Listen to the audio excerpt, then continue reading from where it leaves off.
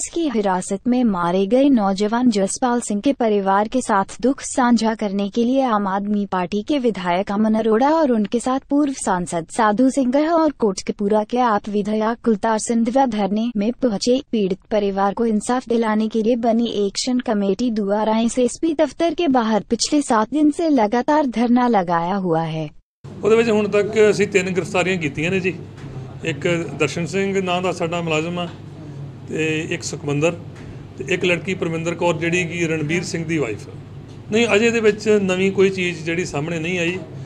ਪੁਰਾਣੀਆਂ ਗੱਲਾਂ ਜਿੰਨੀਆਂ ਸਾਰੀਆਂ ਸੀ, ਉਹ ਆਪ ਜੀ ਨਾਲ ਪਹਿਲਾਂ ਸ਼ੇਅਰ ਕਰ ਦਿੱਤੀਆਂ ਗਈਆਂ ਸੀਗੀਆਂ। ਨਵਾਂ ਅਪਡੇਟ ਜਿਵੇਂ ਕੋਈ ਆਉਂਦਾ, ਉਹ ਆਪ ਜੀ ਨਾਲ ਸ਼ੇਅਰ ਕਰ ਦਿੱਤਾ ਜਾਵੇਗਾ। ਇਹ ਜਿਹੜੀ ਲੇਡੀ ਪਕੜੀ ਗਈ ਆ ਇਨ ਸ਼ਾਦੀ ਕਰਵਾਈ ਸੀ ਮੇਨ ਅਕਿਊਜ਼ ਜਿਹੜਾ ਰਣਬੀਰ ਸਿੰਘ ਨੰਦੇੜ ਰਹਿੰਦਾ। ਉਹਦੀ ਇਹ ਵਾਈਫ ਆ। ਇਸ ਲੜਕੇ ਦੇ ਨਾਲ ਇਹਦਾ ਕੋਈ ਸਿੱਧੇ ਰੂਪ 'ਚ ਕੋਈ ਸੰਬੰਧ ਨਹੀਂ ਹੈਗਾ। ਰਣਬੀਰ ਤੇ ਲੜਕਾ ਆਪਸ 'ਚ ਦੋਸਤ ਸੀਗੇ। ਇਹ ਉਹ ਰਣਬੀਰ ਦੀ ਵਾਈਫ ਆ। ਹੋਰ ਕੋਈ ਡਾਇਰੈਕਟ ਸੰਬੰਧ ਕੋਈ ਨਹੀਂ। ਨਹੀਂ, ਇਹਨੂੰ ਉਹਨਾਂ ਨੇ ਨਹਿਰ ਦੇ ਵਿੱਚ ਸਿੰਪਲੀ ਸਿੱਟ ਦਿੱਤਾ ਸੀਗਾ। ਕੋਈ ਖਾਸ ਤਰੀਕੇ ਨਾਲ ਨਹੀਂ ਸਿੱਟਿਆ। ਔਰ ਸਾਡੀਆਂ 6 ਟੀਮਸ ਜਿਹੜੀਆਂ ਨੇ, ਉਹ ਨਹਿਰ ਦੇ ਵਿੱਚ ਰਾਜਸਥਾਨ ਤੱਕ ਸਰਚ ਕਰ ਰਹੀਆਂ ਨੇ।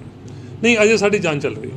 ਨਹੀਂ, ਐਸੀ ਕੋਈ ਗੱਲ ਨਹੀਂ। ਅਸੀਂ ਆਪਣੇ ਕਾਨੂੰਨ ਤੇ ਆਪਣੇ ਫਰਜ਼ ਪ੍ਰਤੀ ਸਮਰਪਿਤ ਹਾਂ ਨਹੀਂ, ਇਹਦੇ ਵਿੱਚ ਕੋਈ ਪੁਲਿਸ ਲੁਕੋ ਨਹੀਂ ਰਹੀ।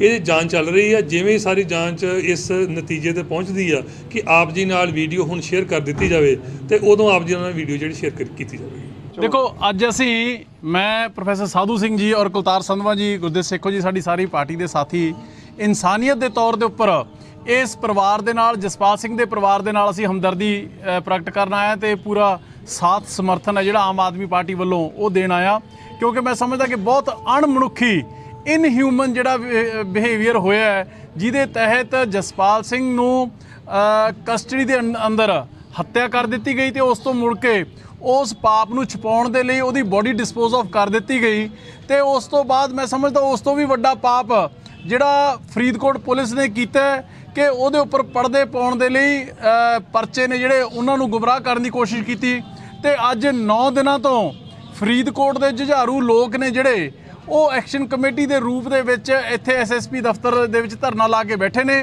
ਪਰ ਸਰਕਾਰ ਔਰ ਪੁਲਿਸ ਦੇ ਕੰਨਾਂ ਦੇ ਉੱਪਰ ਜੂ ਨਹੀਂ ਸਰਕ ਰਹੀ ਹੈਗੀ।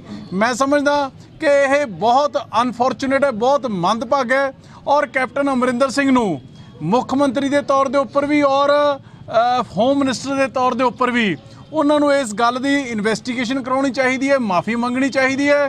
ਜਿਹੜੇ ਦੋਸ਼ੀ ਪੁਲਿਸ ਅਫਸਰ ਨੇ, ਉਹਨਾਂ ਦੇ ਉੱਪਰ 302 ਦਾ ਮੁਕੱਦਮਾ ਦਰਜ ਹੋ ਕੇ ਉਹਨਾਂ ਨੂੰ ਸਖਤ ਤੋਂ ਸਖਤ ਸਜ਼ਾ ਮਿਲਣੀ ਚਾਹੀਦੀ ਹੈ ਔਰ ਜੇ ਕੈਪੇਬਲ ਨਹੀਂ ਹੈ ਕੈਪਟਨ ਅਮਰਿੰਦਰ ਸਿੰਘ ਦੀ ਪੁਲਿਸ, ਤੇ ਇਸ ਇਨਵੈਸਟੀਗੇਸ਼ਨ ਨੂੰ ਸੀਬੀਆਈ ਨੂੰ ਸ਼ਿਫਟ ਕਰ ਦੇਣਾ ਚਾਹੀਦਾ ਤਾਂ ਕਿ ਦੁੱਧ ਦਾ ਦੁੱਧ, ਪਾਣੀ ਦਾ ਪਾਣੀ ਜਿਹੜਾ ਉਹ ਹੋ ਸਕੇ। ਇਸ ਹੱਤਿਆਕਾਂਡ ਦੇ ਦੇ- ਦੇ ਅਗੇਂਸਟ ਆਮ ਆਦਮੀ ਪਾਰਟੀ ਉੱਪਰ ਤੋਂ ਲੈ ਕੇ ਥੱਲੇ ਤੱਕ ਇਸ ਇਨਹਿਊਮਨ ਤੱਕੇ ਦੇ ਦੇ ਖਿਲਾਫ ਪਰਿਵਾਰ ਦੇ ਨਾਲ ਖੜੀ ਹੈ ਫਰੀਦਕੋਟ ਦੇ ਲੋਕਾਂ ਦੇ ਨਾਲ ਖੜੀ ਹੈ ਤੇ ਜਦੋਂ ਤੱਕ ਪਰਿਵਾਰ ਨੂੰ ਅਸੀਂ ਪੂਰਨ ਤੌਰ ਤੇ ਇਨਸਾਫ ਨਹੀਂ ਦਵਾ ਦਿੰਦੇ ਹੈਗੇ ਇੱਥੋਂ ਫਰੀਦਕੋਟ ਅਹ, ਪੁਲਿਸ ਲਾਈਨਸ ਤੋਂ ਲੈ ਕੇ ਚਾਹੇ ਵਿਧਾਨ ਸਭਾ ਤੱਕ ਤੇ ਚਾਹੇ ਗਵਰਨਰ ਹਾਊਸ ਤੱਕ ਸਾਡਾ ਜਿਹੜਾ ਸੰਘਰਸ਼ ਹੈ ਉਹ ਪਰਿਵਾਰ ਦੇ ਨਾਲ ਮੋਢੇ ਦੇ ਨਾਲ ਮੋਢਾ ਲਾ ਕੇ ਜਾਰੀ ਰਹੇਗਾ देश विदेश टीवी के लिए फरीदकोट से गगनदीप सिंह की विशेष रिपोर्ट ਨਵੀਆਂ ਅਤੇ ਤਾਜ਼ੀਆਂ ਖਬਰਾਂ ਦੇਖਣ ਲਈ ਸਾਡੇ YouTube ਚੈਨਲ ਦੇਸ਼ ਵਿਦੇਸ਼ ਟੀਵੀ ਨੂੰ ਲਾਈਕ, ਸ਼ੇਅਰ, ਸਬਸਕ੍ਰਾਈਬ ਕੀਤਾ ਜਾਵੇ।